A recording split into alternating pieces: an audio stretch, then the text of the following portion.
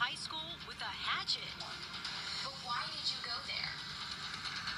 Because it seemed like a good idea at the time. What was your idea? I don't know. I was making it up as I went. You just heard from a man that police say was inside Salem High School this morning with a hatchet. And thankfully, police took him into custody before anything happened. News Channel 3's Marissa Jasic spoke with that man, 25-year-old Kurt Cowart from jail tonight. So, Marissa, what did you learn tonight? Well, honestly, this was the most bizarre interview I have ever done. I pressed him to get answers about what he was trying to do when he came to the school with an axe. Just listen to what he had to say. So what were you doing at the school? I wanted to do something for all the children that have ever been sold into sex slavery.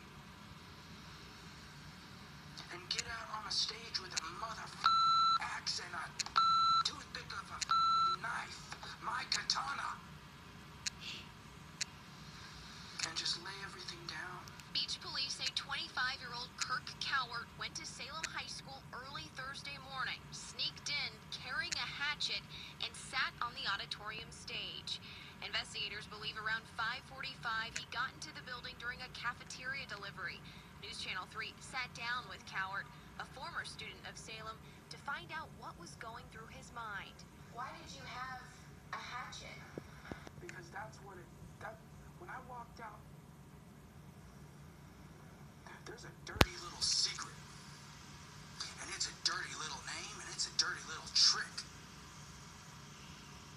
that goes round here that I myself come to you in bondage. Because what did you think the Commonwealth of Virginia's main stock in trade was? Tobacco? That comes from North Kakalaki, but from Virgin.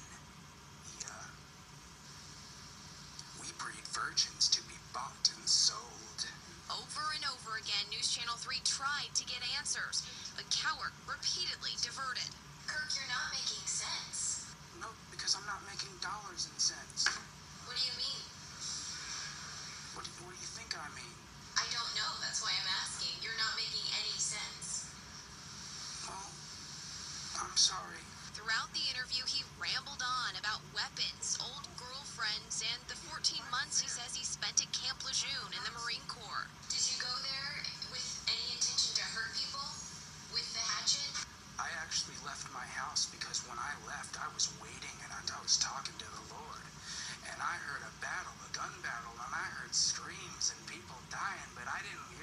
Sounds because I knew there were the